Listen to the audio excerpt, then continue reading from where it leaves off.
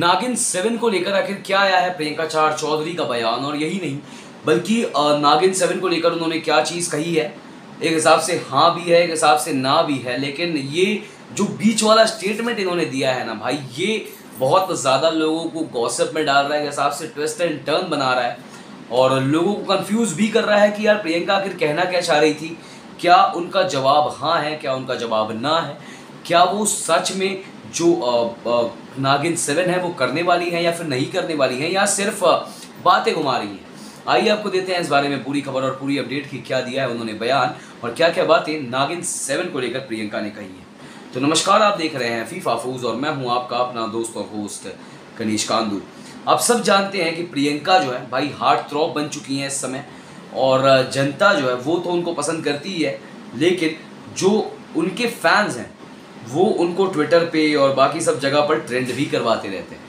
और जिस तरीके से प्रियंका इस समय है एक चीज़ तो बहुत साफ़ है कि यार लोगों का जो मतलब सपोर्ट है ना उनको बहुत मिल रहा है। अभी इस, इसका सबसे प्राइम एग्ज़ाम्पल अगर मैं आपको दूँ तो प्रियंका जो है दो अवार्ड्स के लिए नॉमिनेशंस में है दो अवार्ड्स के लिए उनका नाम सबसे आगे आ रहा है सबसे ज़्यादा लिया जा रहा है। यही नहीं तो दो अवार्ड्स की अगर मैं आपको कैटेगरीज बताऊँ तो पहला बेस्ट एक्ट्रेस के रूप में उनका नाम सामने आ रहा है और दूसरा जो है वो सामने आ रहा है। इस वजह से कि प्रियंका जो है वो अ, उनका जोड़ी अ, अंकित के साथ सबसे बेस्ट था।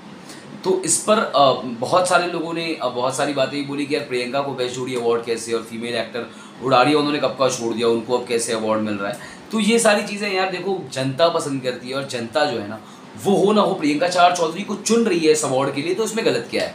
क्योंकि जनता चाहती है कि वो जीते। जनता उनको पसंद कर रही है तो उसमें कोई दो राय हो ही नहीं सकती ना। और आपको बता दूँ कि प्रियंका को लेकर बस बहुत ज़्यादा इसलिए बना हुआ था, क्योंकि उनका नाम मूवी डंग की जो राजकुमार ईरानी की है, उसके साथ में भी जोड़ा जा रहा है। और लोग यही नहीं रुके। उसके बाद उनका नाम खतरों के खिलाड़ी सीज़न थर्टीन से जोड़ा जा रहा है। और अब उनका नाम नागिन सेवन से भी जोड़ा जा रहा है।